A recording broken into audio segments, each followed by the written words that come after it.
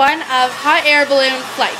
We are, for like the fifth time today, we are going to make this dry cleaner bag, aluminum foil basket, and four pieces of string with like five pieces of tape, uh, float up into the skylight, which is that.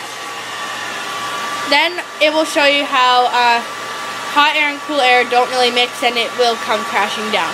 So this has no weight and we are using a hair dryer to blow air, hot air into the bag. So we are putting the hair high on hot air and we have no weight. If we did have weight, which you probably, which you will see next in our next test, which will be Bobbin.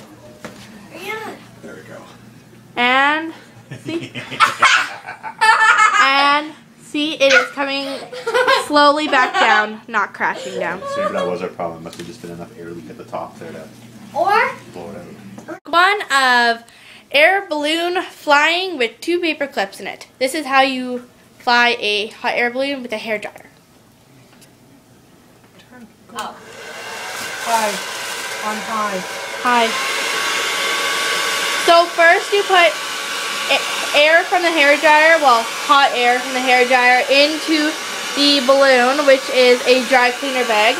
And if you can see way down there, there are two paper clips, which I named Bob and Joe. yeah. Tell me when to turn it off. Well, take a while now. Take it up. This takes usually 30 to 40 seconds before it gets hot enough to start floating.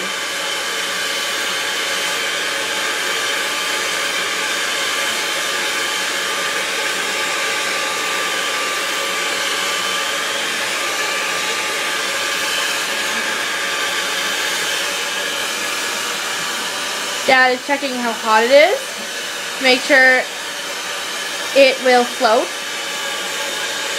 And he'll make sure it's of boring. now he'll make sure it's not so hot that it burns his hand. yeah. Okay. And there it goes.